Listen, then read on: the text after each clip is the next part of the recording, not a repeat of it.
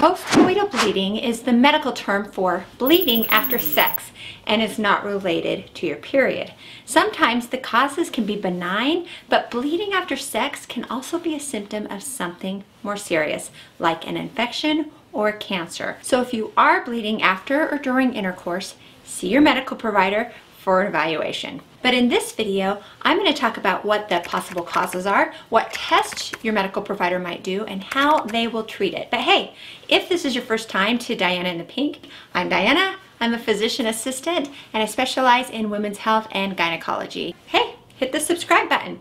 I mean, if you want to or not, but I'd really like it if you do though. And even better, give me a comment below. I actually read every single one of them. So say hi, tell me what other video topics that you'd like to see or whatever. But let's not waste any more time on that.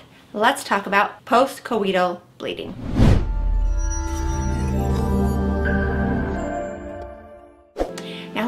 With the causes. And I'm gonna try to be thorough here, but I can't really talk about every single possible cause, but these are by far the most likely things that could cause bleeding with sex. So first off, benign causes. So you can actually have an infection, sexually transmitted infections or STIs like gonorrhea, chlamydia, or trichomonas can cause a cervicitis or inflammation of the cervix that make the tissue more friable, which means it's more likely to bleed with sex. If the STI moves further up into the genital tract, you can develop something called pelvic inflammatory disease or endometritis, both of which can also cause bleeding after sex.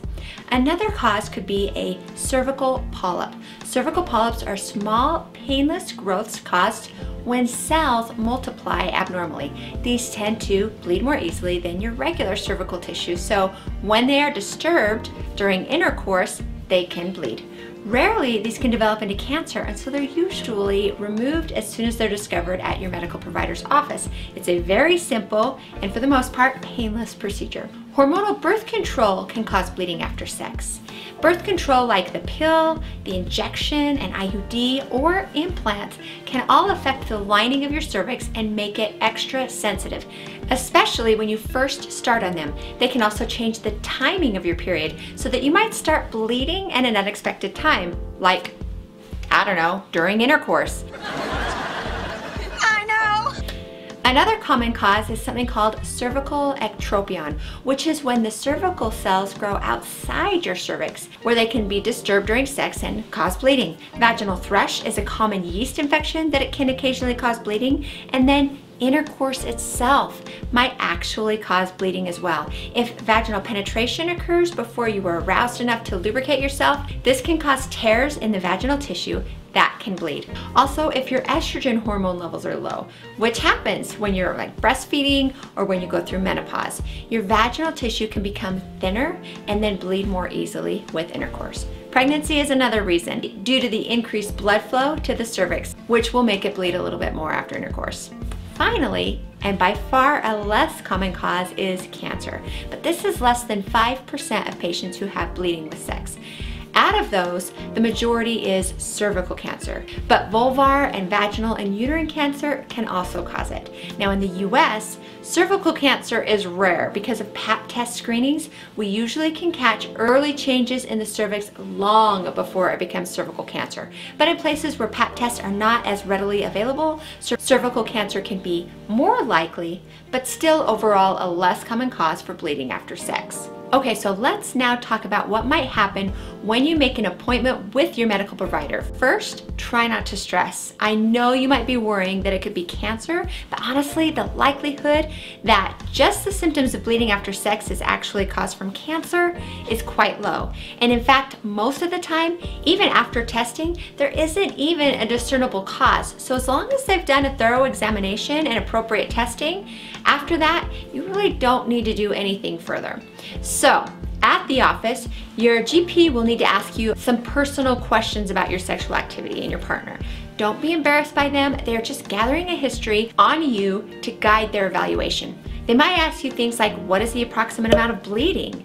So like, are you having just spotting? Are you having like a full period? They might ask if postcoital bleeding occurs with every episode of vaginal sexual activity or only sometimes. And if it doesn't occur all the time? Does it seem to occur with specific activities or with specific partners? They'll ask if the bleeding is associated with pain or vaginal dryness or vaginal discharge. And the more information that you can give them, the easier it will be for them to find out what's going on. Other important questions are what your birth control is, if you're on any medications, and when you've had your last pap smear. After they've taken your history, they're most likely gonna wanna run some tests they might check a urine test to check for pregnancy or maybe an infection. They might collect a vaginal swab to check a culture for gonorrhea, chlamydia, trichomonas. And they will most likely do a speculum examination to actually look for the cause of bleeding in your vagina or your cervix. And they may choose to do a pap test, even if you are up to date on your pap test. They might just do another one. Now, based on your symptoms, your history, and your exam, your GP might also want to check a pelvic ultrasound, or if they see anything on your cervix, they might want to biopsy that.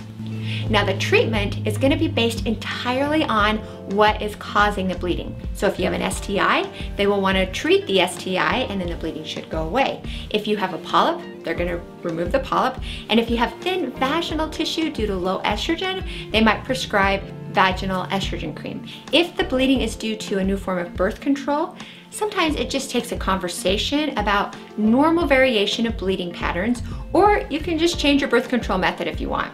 If they find that your cervix just bleeds more easily because of cervical ectropion, like I mentioned before, sometimes just knowing that that's what it is will help you to feel better about it. But it can be cauterized or frozen to stop the bleeding, but there are some risks associated with that. So talk to your provider about those risks to decide if that's something that you want to do. For the rare cases of cancer, your GP is gonna guide you to all the right doctors and the specialists to get everything addressed and to get you on all the right treatments. So I hope that you enjoyed this video. If you did, hey, give it a thumbs up. Again, comment down below. I really enjoy reading your comments. I like to know what videos you'd like me to do next. And again, subscribe. If you know somebody that you think this is gonna help them, share this video with them.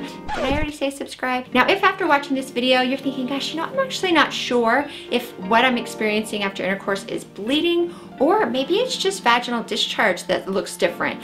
Um, I've actually done a video all about vaginal discharge, their colors, and what can cause it. It's a great video. Check it out right here. I'm gonna link to it right here. Click on that, and I'll see you over there. Okay, this is what a creamy white discharge looks like. Now this is just sour cream, but a creamy white discharge looks very similar to this. But sometimes creamy yellow discharge is pretty common as well.